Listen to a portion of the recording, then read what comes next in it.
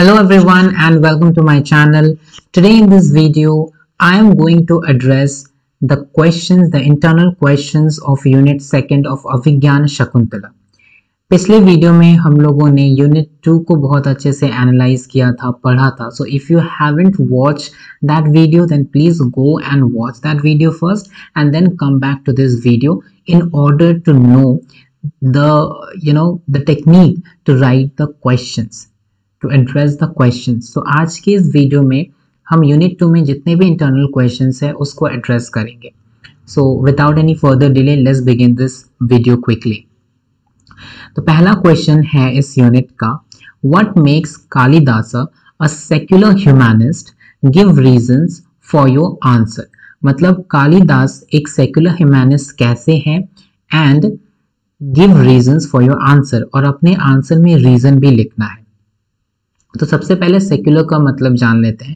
Secular अगर आप किसी इंसान को सेक्युलर बोलते हैं, इसका मतलब होता है कि वो इंसान बायास्ड नहीं है। इसका मतलब है कि वो किसी एक चीज़ को प्रेफरेंस नहीं देता है पार्शलिटी नहीं करता है। So that person is a secular Hindi में इसको बोलते धर्म निरपेक्ष आप तो सुने ही होंगे कि India is a secular country इसका मतलब कि इंडिया किसी भी एक धर्म को प्रेफरेंस नहीं देता है।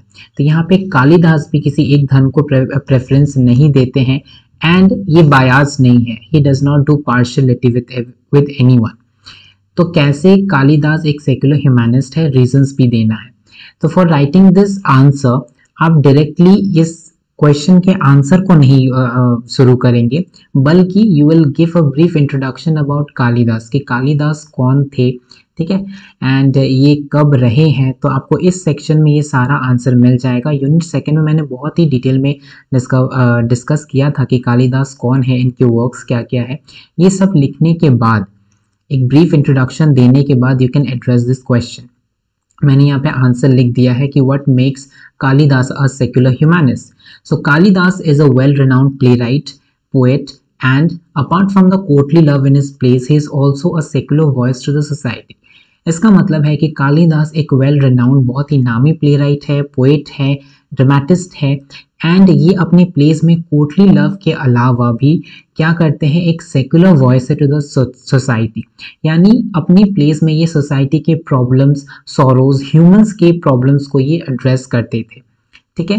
He meticulously describe the poignant sorrows of the humans humans के जितने भी सोरोज है, दुख दर्द है कन्फ्लिक्ट्स है इनर कन्फ्लिक्ट्स है, ये सब ये बहुत ही अच्छे ढंग से पेश करते थे अपनी प्लेस में। He is not bias to any specific caste grade और जेंडर ये कभी भी किसी भी एक कास्ट ग्रेड और जेंडर को प्रेफरेंस नहीं देते थे। He has given preference to every caste every creed and every gender right he appreciates and punishes those who deserve ये उन लोगों को अप्रिशिएट भी करते हैं और पनिश भी करते हैं जो डिजर्व करते हैं। मैं अभी एक्सप्लेन करूँगा इसका मतलब क्या है।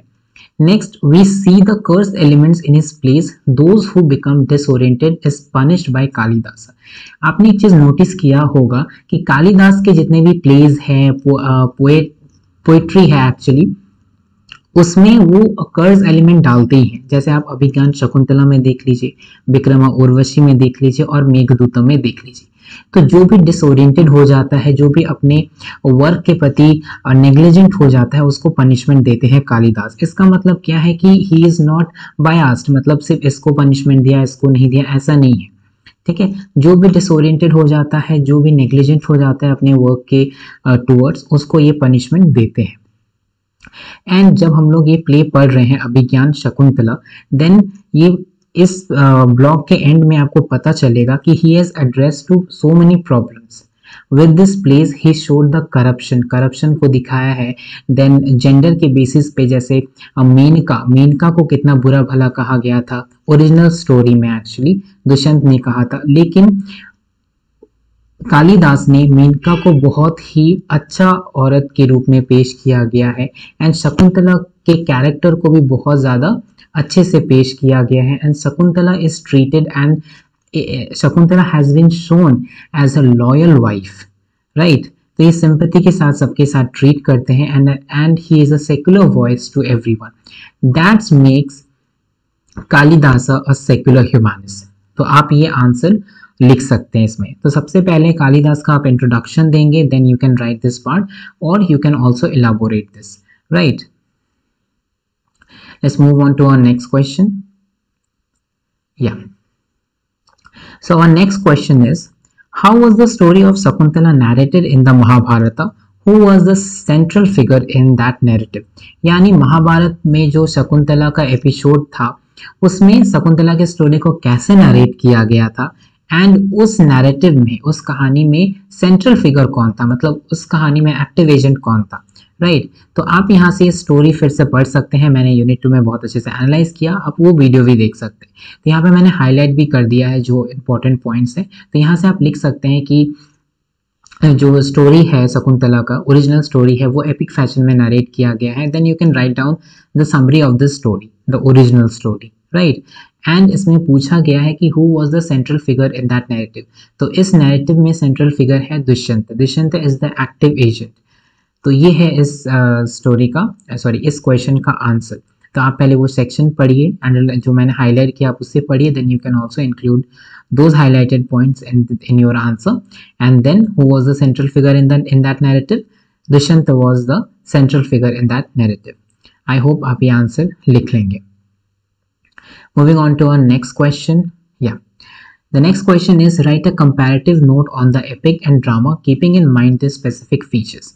तो स्पेसिफिक uh, फीचर्स uh, को माइंड में रखते हुए दिमाग में रखते हुए हमें कंपैरेटिव नोट लिखना है एपिक और ड्रामा बेसिकली इस क्वेश्चन में हमें एपिक और ड्रामा के बीच में जितने भी डिफरेंसेस है उसको बताना है how epic is different from drama ये बताना है तो मैंने यहाँ पे आंसर लिख दिया है an epic is a long narrative poem whereas drama is a performative art पहला डिफरेंस क्या आप लिख सकते हैं कि एपिक एक पोएम है epic is written in verses verses में लिखा जाता है it's a poetry right it's a long narrative poetry and drama क्या है? एक परफॉर्मेटिव आर्ट है, ये एक कला है.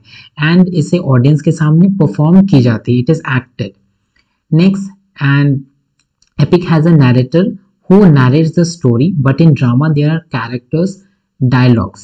ठीक है? तो एपिक में क्या होता है? Epic is episodic in nature epic में बहुत सारे एपिसोड्स होते हैं छोटे छोटे हर एक एपिसोड में नैरेटर होता है और नैरेटर ही कहानी को नैरेट करता है। तो कैरेक्टर्स का कोई रोल नहीं होता है एपिक में। नैरेटर का ही रोल होता है। So narrator is the active agent in the epic narrator अपने ढंग से स्टो, स्टोरी को कन्वे करता है। लेकिन ड्रामा में ऐसा नहीं होता है। ड्रामा में कैरेक्टर्स होते हैं और भी बहुत सारे एलिमेंट्स होते हैं। तो कैरेक्टर्स अपना डायलॉग खुद ही बोलते हैं। एंड इस तरह से जो ड्रामा है ड्रामा में जो कैरेक्टर्स है उनके इनर फीलिंग्स इनर कन्फ्लिक्ट्स वो बहुत अच्छी तरीके से बाहर आती है। ड्रामा में सिर्फ़ कैरेक्टर्स ही स्टोरी को नहीं बतलाते हैं।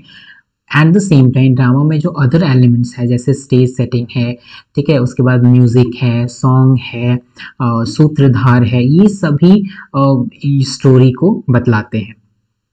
So this is the basic difference between the epic and the drama so you can write the differences down तो जैसे लिखा जाता है वैसे लिखिए एंड देन आप एग्ज़ाम्पल भी दे, दे सकते हैं जैसे ओरिजिनल स्टोरी है जो एपिक फ़ैशन में है शकुंतला का स्टोरी एंड देन ड्रामा में जो है अभिज्ञान शकुंतला का स्टोरी ये दोनों कैसे डिफरेंट डिफरेंट है आप वो लिख सकते हैं। एंड इसका जो आंसर है आपको ये अगर सेक्शन पढ़ते हैं तो आपको बहुत अच्छे से क्लियर हो जाएगा। जैसे इस यूनिट में मैंने जब हम एनालाइज किए थे तो इन सारे क्वेश्चंस को मैंने एड्रेस किया था।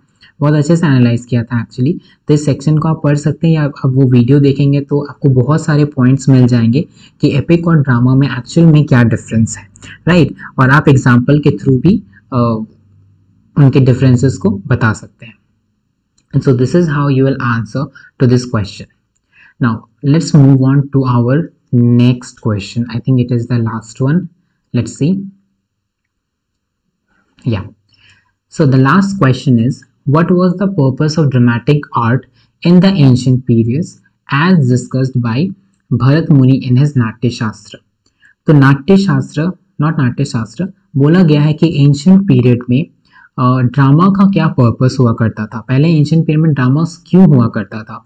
तो आपको वो बताना what was the purpose of dramatic art in that period तो मैंने यहाँ पे आंसर लिखा है actually The purpose of drama was not only to entertain but also to educate and to in instruct the audience to gain prominence in health, wealth and spirituality.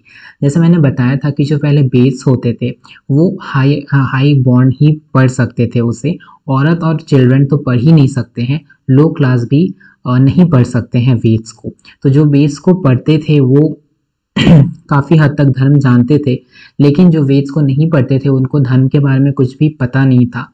And उस समय में बहुत सारे लोग जो है, वो अधर्म कर रहे थे, ठीक है?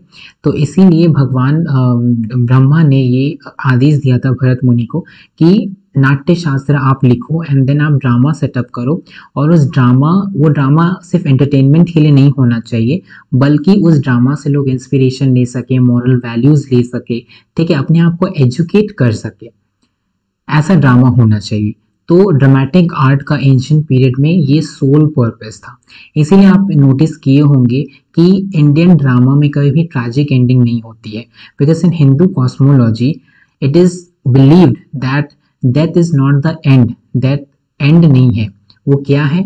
वो एक स्पिरिचुअल लिबरेशन की टूवर्ड्स एक स्टेप है। Right if you want spiritual liberation then you have to die so death is not the end according to Hindu tradition according to Hindu cosmology तो ये पूरा चीज़ मैंने उस यूनिट में भी एनालाइज किया है। अभी भी मैंने कर दिया है। तो यही इसका पर्पस है ड्रामेटिक आर्ट का। अगर आप इसे और अच्छे तरीके से लिखना चाहते हैं देन आप आप इस सेक्शन में आइए।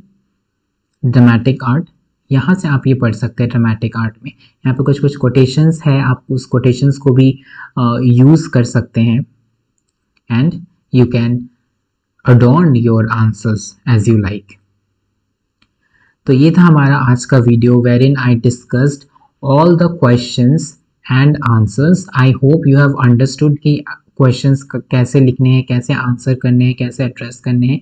If you have and if you have like this video then please give it a like and do subscribe to my channel and next video में I analyse the unit third of Abhijnana Shakuntala so stay यून for more videos like this thank you for watching